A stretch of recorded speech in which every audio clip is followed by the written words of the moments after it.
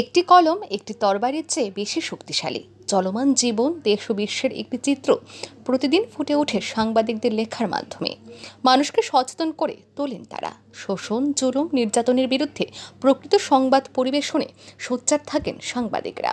বর্তমান সমাজের এক গুরুত্বপূর্ণ পেশা হিসেবে স্বীকৃতি পেয়েছে সাংবাদিকতা। দু হাজার আঠারো সালে রাজ্যে ভারতীয় জনতা পার্টির সরকার আসার পরে সাংবাদিকদের নানান দাবি দেওয়ার প্রতি গুরুত্ব দিয়েছি আমরা। আগে ত্রিপুরার সাংবাদিকদের কোনো সম্মান ছিল না। সাধারণ মানুষের থেকে আলাদাভাবে চেনা যেত না তাদের।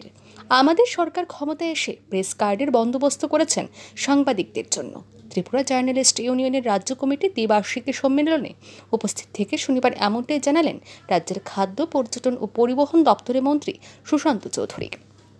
এদিন তিনি আরও বলেন, সৎ মেধাবী ও নির্ভীক সাংবাদিকরাই জাতির পথ ও প্রদর্শক। তারাই সরকারের চতুর্থ স্তম্ভ। একটা পেন, একটা কলম, একটা থেকে অনেক বেশি হয়তো এই কলমটা দিয়ে আমি মানুষকে কাটতে পারব না। হয়তো এই কলমটা দিয়ে আমি রক্তপাত ঘটাতে পারব না।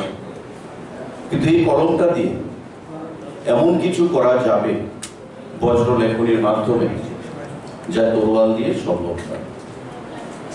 তরোয়াল দিয়ে যে আঘাতটা আসবে, এতে করে মানুষের জীবনও যেতে পারে।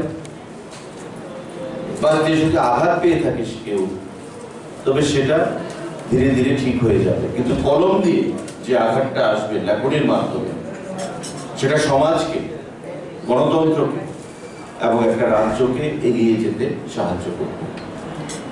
তো আজকে যারা সাংবাদিক, এই প্রেস ক্লাবে বিভিন্ন সময় সাংবাদিক বন্ধুদের ডাকে সাড়া দিয়ে আমরা এখানে বা আসি, কথা বলি। বিভিন্ন সময় বিভিন্ন প্রতিশ্রুতি যেটা জয়ন্তবাবু বলার চেষ্টা করেছেন যে আমাদের অনেক দাবি দেওয়া ছিল, কিছু কিছু পূরণ হয়েছে, আরও কিছু কিছু পূরণ হয়নি। আর আমি বরাবরই বলি যে আমাদের গভর্নমেন্ট হচ্ছে প্রো পিপল গভর্নমেন্ট আমাদের গভর্নমেন্ট হচ্ছে প্রো ডেমোক্রেসি গভর্নমেন্ট এবং আমাদের গভর্নমেন্ট হচ্ছে প্রো সাংবাদিক গভর্নমেন্ট এখানে আমি বসে নোট করছিলাম, কারণ আইসিএ দপ্তরের দায়িত্বে ছিলাম বছর দেড়েকের মতো।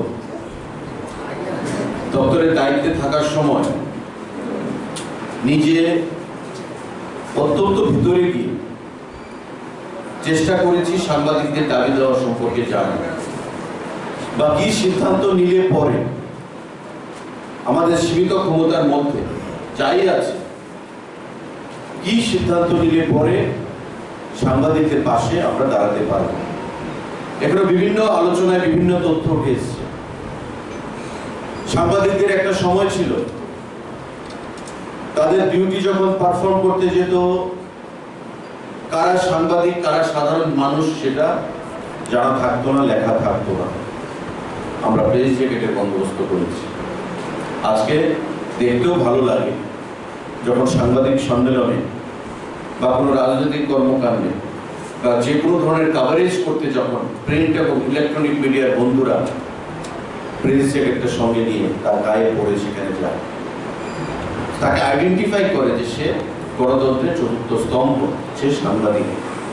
আগরতলা প্রেস ক্লাবে অনুষ্ঠিত শনিবারের এই অনুষ্ঠানে উপস্থিত ছিলেন অল ইন্ডিয়া জার্নালিস্ট ইউনিয়নের সভাপতি, Gitartha Pathak all India journalist ইউনিয়নের সেক্রেটারি জেনারেল সাবিনা ইন্দ্রজিৎ, সর্বভারতীয় জার্নালিস্ট ইউনিয়নের সম্পাদক প্রণব সরকার এবং আগরতলা প্রেস ক্লাবের সভাপতি Jayanta Bhattacharya.